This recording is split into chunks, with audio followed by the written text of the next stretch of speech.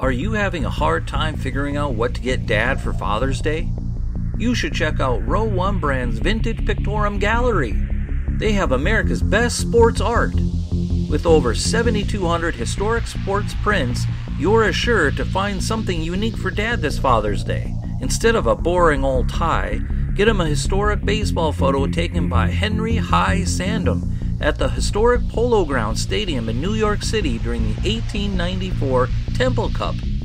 Or, if he's an NFL buff, check out the 1963 vintage NFL poster. These are so good looking that you'll be amazed how they turn out.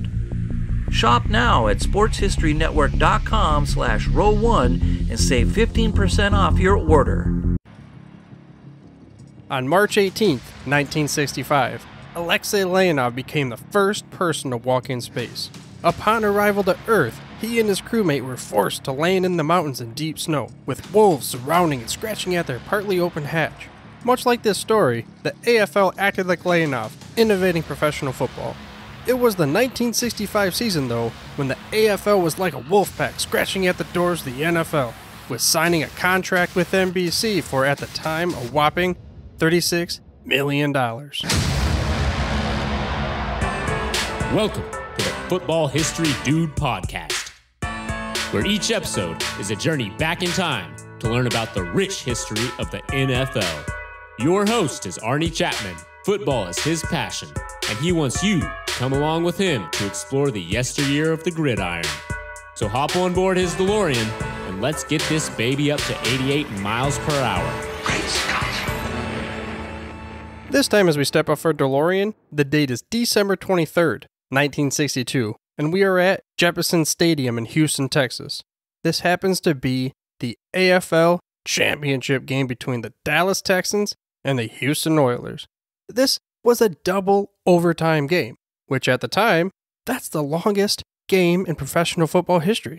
So the buzz for the AFL was starting to build steam. You know, the whole chug, chug, chug, chew. And a quote that came from uh, Robert Boyle from Sports Illustrated kind of, I guess you could say, summed it up a little bit. It went as such Pro football's new league confounds its doubters. Better teams, bigger crowds, newer stadiums, and fancy play now add up to a successful future for the league.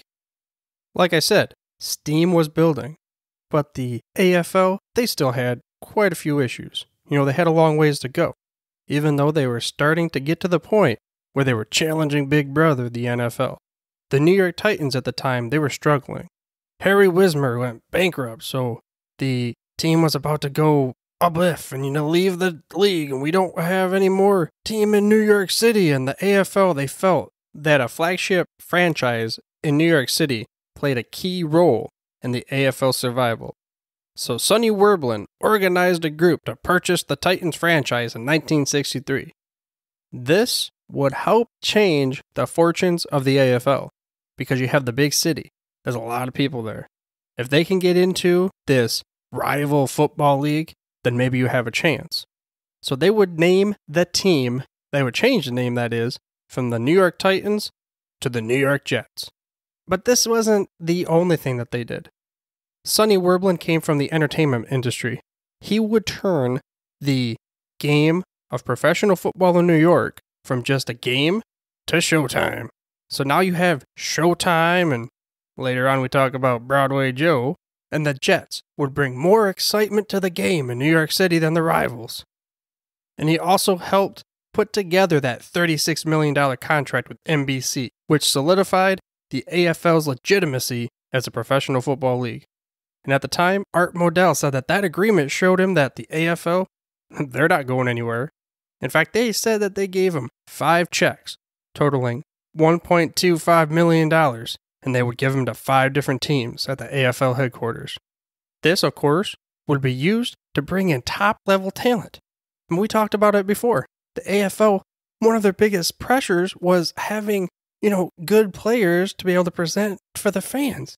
If you don't have good players and, you know, you put on a good show, no one's going to want to watch you. So that was a huge direction given to the AFL owners, find the right players, but they had other things they had to deal with too. One thing that made the AFL more enticing to the fans was it was a wide open, exciting type of game. It was it was a different style than the NFL. I mean, the video that we're gonna put on the the show notes there says that it was as different as how you spell national and American. I mean, totally different ends of the spectrum. The video compared the NFL to a suit and tie, stand up straight, and the AFL to, you know, you're going to feel good and holler and shout, and you're going to see the players on the field do all sorts of things that you wouldn't even think about in the NFL. So, it's kind of like I said, changing from the football game to the showtime. And one of the persons that was greatly responsible for this went by the name of Sid Gillman. He was a revolutionary coach for the San Diego Chargers. He was said to have broken down film unlike anybody before. And he preached that, you know what, it's okay, let's just throw it all over the field. We can throw it anytime, anywhere, any place, when they're looking, when they're not. Anywhere on the field, at any time, any down, who cares? Throw that ball all over the park. And it didn't hurt that he had Lance Alworth on his team, too, you know. I mean, John Madden just gushed about how the uh, innovations that Sid Gillman brought to the league helped revolutionize football and helped the American Football League step onto that pedestal. And to help you out, I left a link in the show notes to the incredible coaching tree of Sid Gillman and the impact that he had on the NFL. Which, by the way, you can get to the show notes through your podcast player here or head to my website at thefootballhistorydude.com. Also, Please subscribe for free to this show by mashing that little subscribe button on your podcast player choice. That way you get the hottest, freshest out the press episodes each and every week. But getting back to the AFL, and it wasn't meteoric at the beginning, it turned into a meteoric rise of where they were legitimate with the big guys, the NFL. And there were many different reasons why this came about, but they had created this innovative style of play which included new rules for the AFL to add that excitement factor. Now, the first one was they started with 14 game regular season. At the time, the NFL still only had 12 games in the regular season.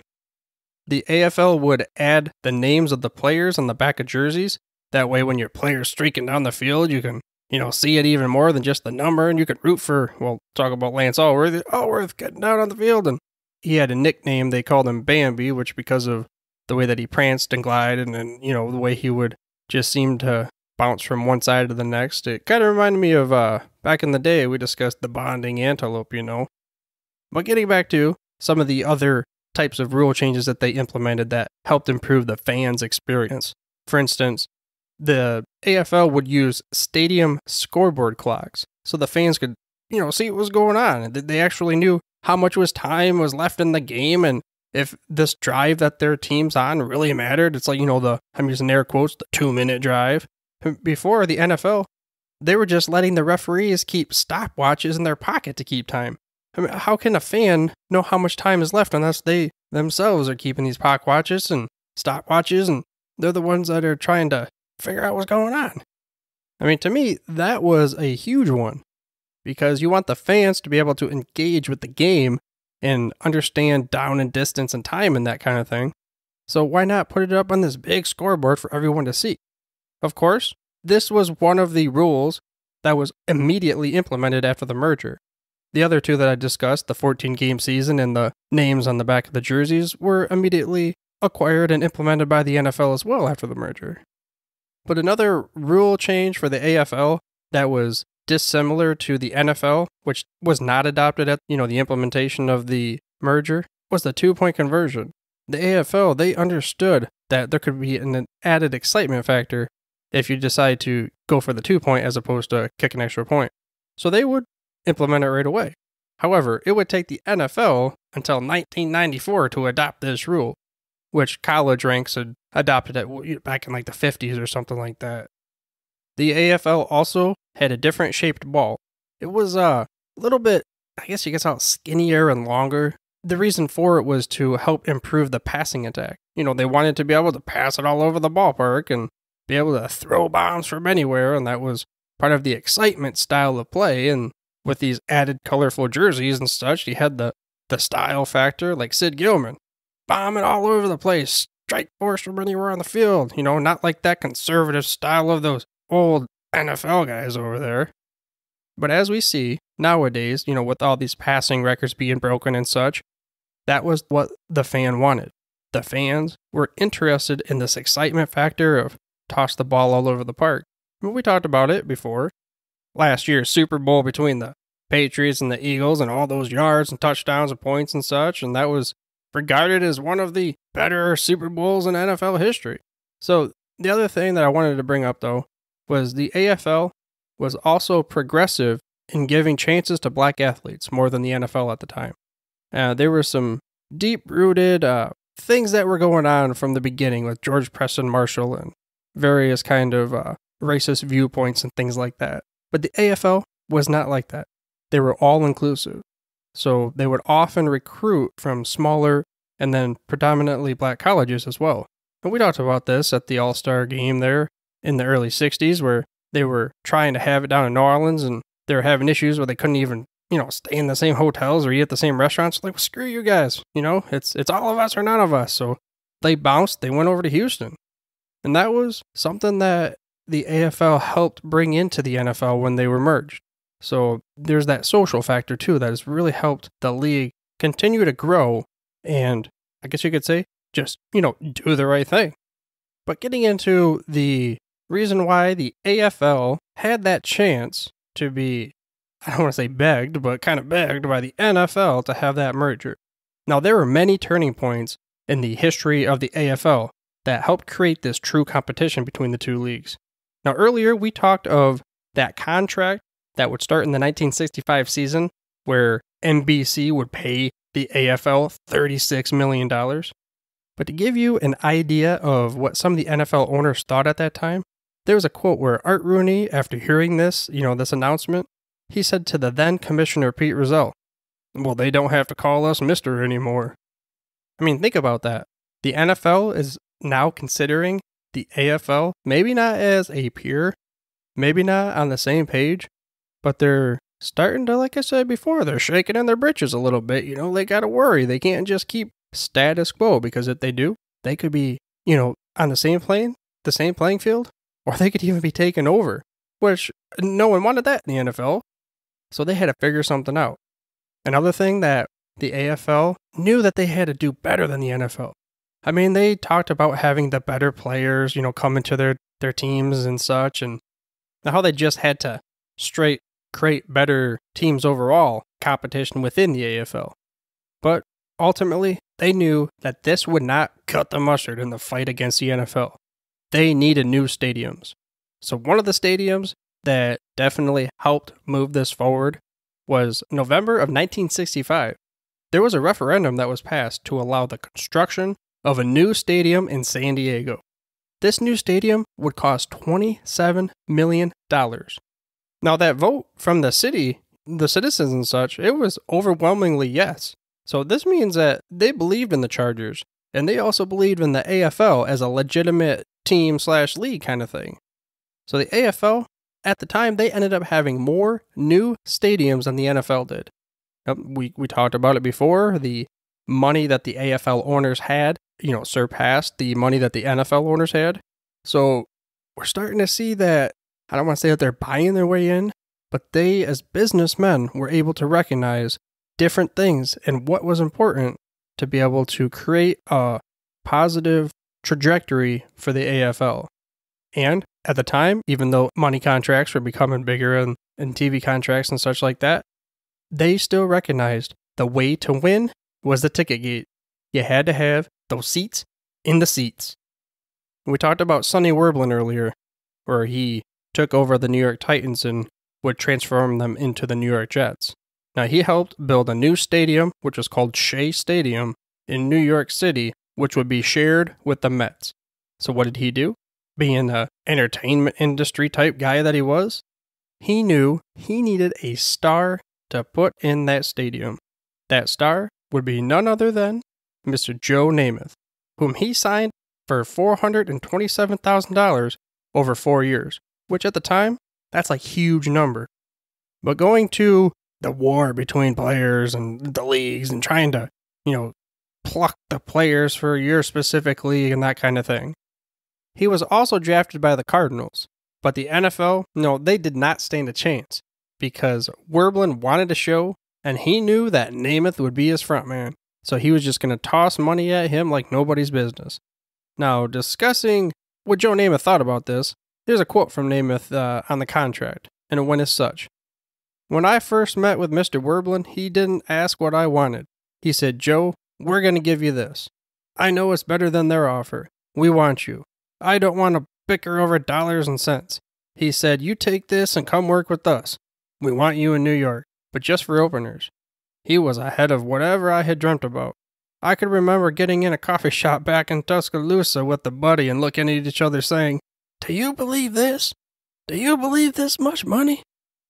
So even Broadway Joe himself never dreamt about having that kind of money for playing professional football.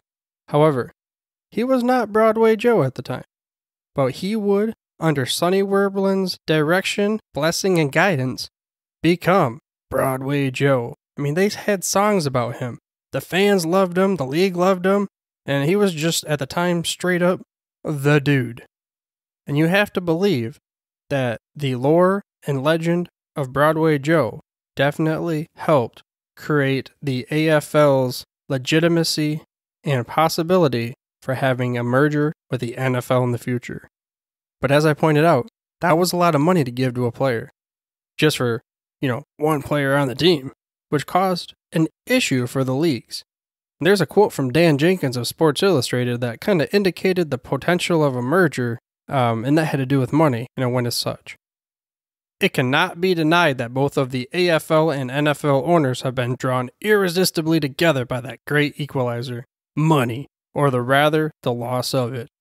So, as we discussed, the legitimacy of the AFL creating this bidding war for players, salaries rising, causing financial burden on both leagues. I mean, things were starting to head uh, kind of in the wrong direction for the NFL, and they knew it. And Al Davis, now he had a perspective on how they could just kind of hold out, wait them out. And it went as such. As I've often said, we were like the guerrillas in guerrilla warfare. And as I've also often said, the gorilla wins if he doesn't lose. And as long as we hung around, we were a thorn in their side. They feared us, and we had quality people. We weren't afraid of them, and we could handle them. And speaking of this kind of guerrilla warfare type thing, something that didn't turn out, it was a little sour for the AFL at the time. Remember when we talked about in the last episode, actually two episodes ago even, where the Bills, their kicker, Gogolak, he was taken away by the NFL AFL, they would go on a rampage, signing players away from the NFL. And again, Al Davis, he focused on the field generals, those quarterbacks, because he knew if he could get the quarterbacks, the leaders of the field, he would have a chance to win this guerrilla warfare that he embarked upon. But between this guerrilla warfare mentality and signing players from each other, I mean, the merger, because of this, almost didn't happen. But at the same time, probably one of the reasons why it did happen because it gave, from Al Davis's perspective, it gave Lamar Hunt more ammunition when they go into meetings and, and have these conversations and things with the NFL. But then this all led up to the merger, which we've discussed in a previous episode, so we won't go into detail. But it also takes us to what would end up becoming the first Super Bowl. I mean, not really technically called the Super Bowl at the time, it was the World Championship game between the AFL and the NFL but a little bit more on that in a later episode. So we have to talk about, of course, Broadway Joe, because he helped create the AFL's legitimacy. And another thing, this is after the merger, but in Super Bowl three, he had the guarantee, where the betting line was started at the Colts being favored by 17 points. His Jets didn't stand a chance, the inferior AFL league, and that kind of thing. And He's like, you know what? Wait a minute, man. I guarantee we're going to win this game. So it was a laughing matter, a laughing stock, and no one believed him, of course, because of the dominant Baltimore Colts. They're just going to stroll, scramp, strap all over him. And this was not on purpose, but it kind of reminded me of last Super Bowl as well. Patriots coming in, supposed to be this dominant team playing against the Eagles and their backup quarterback. Nick Foles didn't usher a guarantee, but the same thing kind of happened. They came out on top. But this was even more important as far as legitimacy as the American Football League would go. This would mark the first time the American Football League would win a championship against the NFL, creating that final moment where it's like, yes, we finally made it. Yeah, we've got the merger going on and that kind of thing, but we, as players, teams, coaches, we believe that we belong here.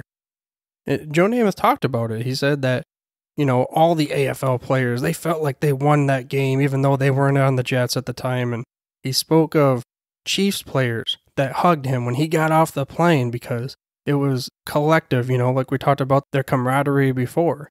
They believed this underdog story. Now we're here, we're with the NFL, and we finally won one. Even though we're going to merge, we still have the AFC and the NFC.